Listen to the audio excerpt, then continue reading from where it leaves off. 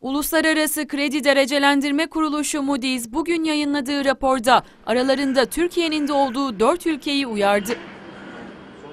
Raporda yerel politik risklerin Türkiye, İtalya, Brezilya ve Arjantin'in kredi görünümleri üzerinde baskı yaratmaya devam edeceği belirtildi.